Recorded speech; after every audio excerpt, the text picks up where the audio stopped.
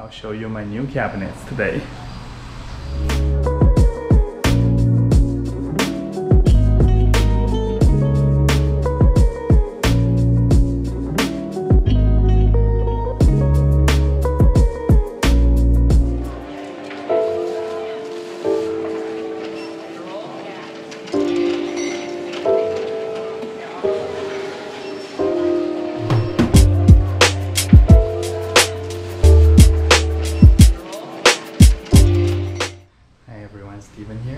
For joining me. So today I'm super excited to share that the carpentry or the carpentry for my fish tank is complete. And um, you know, you can see that that is a major difference before and after. Uh, it really makes a difference. So what I asked my carpenter to do specifically is to put a six inch um, bar platform here. So I actually have this stool sitting upstairs. There are four of these stools. They're 24 inch tall, and um, when they when you're sitting down, you can basically put a drink right here. I have coaster sitting in the end. Put a drink right here, and just like watch the tank for hours. And I've been doing that actually for the last few days. And then um, as far as the opening, I have it open like door style on each side for maintenance. And then in the bottom only the front panel can be opened. So I can use this for storage.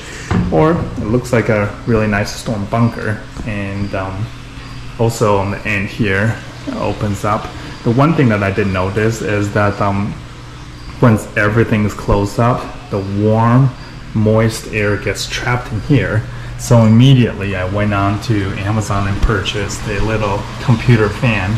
Uh, those are six inch fans and I just put it up there and uh, they will at least help circulate the air a little bit in here.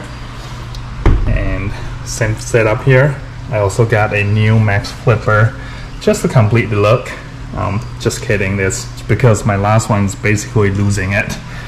Um, so super excited to have this finished and um, I actually ordered a few um, those were wood cutout from Coco Nene. Um, it is a company that is located in Hawaii, and um, I will show you once they arrive. I'll put them up.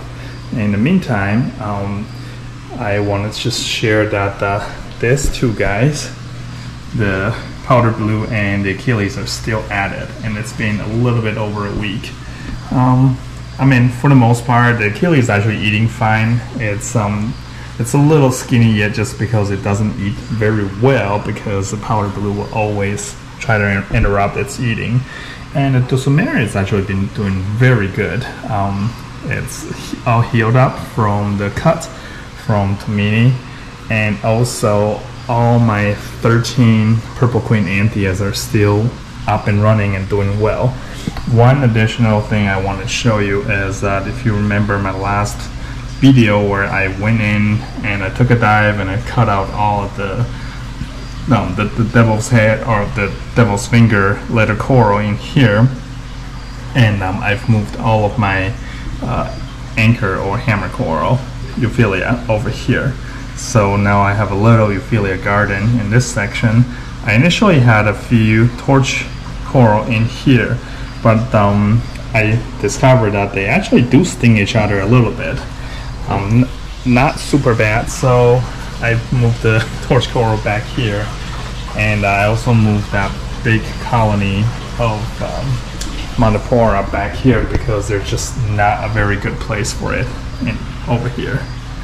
And the clam got from Clammania is doing well with a super fat mandarin you can see. And um, the angel here, I did an episode last week that it's continuing to turn yellow. There's actually, in fact, there's more yellow this week than it, it was last week. So once again, more yellow, and when the lines start to turn more linear, I'll do another episode update. So that's about it for today, guys. Thank you so much for tuning in, and I will see you next time.